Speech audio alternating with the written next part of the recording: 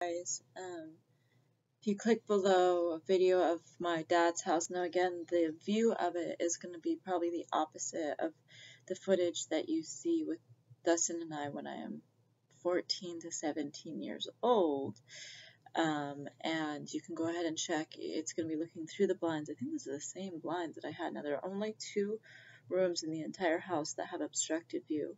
My bedroom, because that shit is creepy, shows you I didn't want to be seen.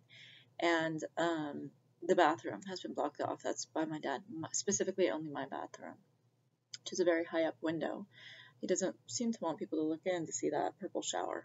Hmm. Um, so the the way that you might be able to tell, I don't know the view of the shower, how how that was being filmed um, back when I was a kid, but one common factor that you will see in the house um, that's very specific is railroad wood. Um, this is like from railroad tracks, and um, they're like big um, pieces of wood that are above the door.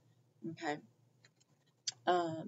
And these have been treated and you might go that's not legal. Well it was someone's personal house and that's how they wanted to build it so that's how they built it.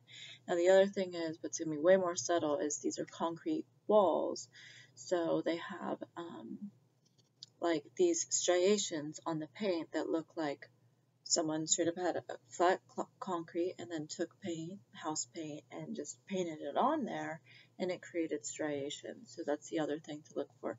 Now throughout the whole house except not in the bathroom is this white carpet. So what I have filmed, I, I show you these common factors. Look again for railroad wood, and this is 17469 Mallard Drive. I'll show you that my father does live there, that that's on his records. I'll show you that he um, that house sold in 2017 for about around a million dollars, and yet um, he's the one who lives there. It's called money funneling. I've caught my family doing it a few times now. Um, and uh, you know, it's like how many how many houses can a school teacher buy? You know what I mean?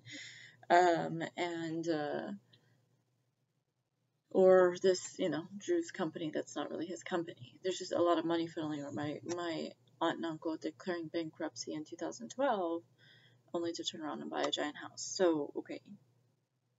At the same time that everybody got really wealthy was 2012. That's like when my family really fucking sold out. So um, yeah, and uh, you could go ahead and check that out. Um, he didn't want me to go in the house for some specific reason. I said I had to pee, and he said, "Go in the bushes." it's like, well, typical shit. So, um, I will be showing you that I unfortunately couldn't film the bathroom as I didn't have access to it, but you will be able to see at least my bedroom. I don't know if Dustin and my dad are saying that this is not where that this is not where it was filmed, that this was some bedroom not at his house, but it indeed is. And I will even show you my dad standing on that same property at 17469 to confirm, outside of even records, that he personally does live there. You'll see his car and you'll see him. Okay.